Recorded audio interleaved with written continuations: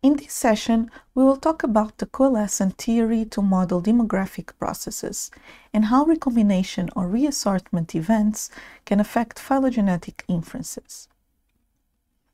The coalescent theory is a powerful extension of classical population genetics because it is a collection of mathematical models that can accommodate biological phenomena as reflected in genomic data.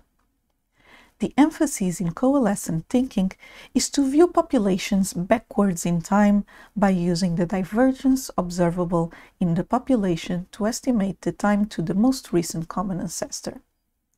This ancestor depicted as yellow nodes in the tree is the point where lineages come together or coalesce in a single biological organism.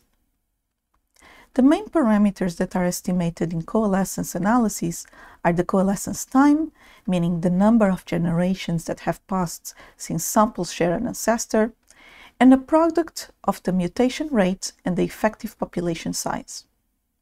Therefore, more diverse populations have longer coalescence times and larger coalescent effective population sizes than less diverged populations assuming the same mutation rate. Thus, one can use the pattern of coalescent events to infer the population growth dynamics over time. Let's assume a constant population size of n individuals with discrete generations and equal reproductive success. Here, each new generation chooses its parent from the previous generation at random. When this happens, the lineages are said to coalesce, the rate of coalescence is inversely proportional to population size. If you pick a random individual and trace their descendants forward in time, all the descendants of that individual will, with high probability, eventually die out. Here we have a sample genealogy of three sequences from a population of 10 individuals. Now we can clearly see when coalescent events occur and estimate the time for coalescence. A demographic function can be estimated from the genetic sequences by combining the phylogenetic and coalescent likelihoods. The probability distribution of times between coalescence events depends on the demographic function. Thus, the likelihood of the demographic function can be calculated given a specific phylogeny since the observed tree shape reflects historical population dynamics. Here, the number of lineages decreases at coalescence events and increases at sampling events. As mentioned earlier, different trees gives us insight into different population dynamics. The top left tree, where there is rapid bifurcation, sheds light into an exponential growth of the pathogen's effective population size. In the adjacent tree, we see that branching events occur not as rapidly, which is an indication of a constant population size. Trees can also indicate whether the pathogen is under selection, as we can see in the trees on the top right.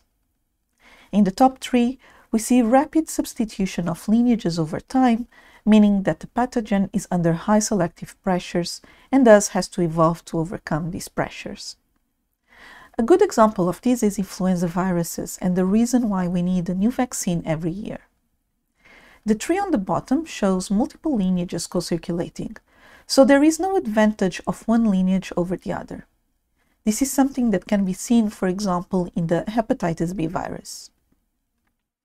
Lastly, the topology of the phylogenetic tree can also give us an indication of the structure of the population. In this case, we have two hosts, red and blue, and we see that in the left tree, pathogens tend to cluster by host, whereas in the right tree, pathogens tend to cluster irrespective of host sampled. In this example, using genetic data of seasonal influenza H3N2 globally, we were able to recover changes in the viral population, that is, the number of infections over time. Black represents the mean and green the confidence intervals. We can see peaks in the northern hemisphere winter and small peaks in the southern hemisphere winter, which accurately represents the seasonality of human flu epidemics. Recombination and reassortment are events where there is exchange of genetic material from different strains. When this occurs, the topology superficially resembles phylogenies from an exponentially growing population. Ignoring recombination leads to a large overestimation of the substitution rate heterogeneity and the loss of the molecular clock. Topological incongruence, as seen in the trees on the left, where different genetic regions produce different phylogenetic trees, represents the strongest signal for recombination. Thus, a phylogenetic tree cannot appropriately explain recombination events. We can detect recombinants or reassortants via incongruences in phylogenies, but this can be a long and tedious process where it is necessary to build and compare phylogenetic topologies for multiple genes or genome regions. Fortunately, there are several algorithms that facilitate these kinds of analyses. Here we can see some examples of different algorithms for detecting recombination, such as Simplot, Bootscan, or 3Seq. The recombination detection program by Darren Martin et al. offers a great package that includes many of these. Detection of recombinants allows us to identify sequences with these patterns and remove them from subsequent phylogenetic inferences. There have been efforts to develop models that incorporate recombination by Mark Suchard or Nicola Mueller, but this can really only be used for a small number of sequences.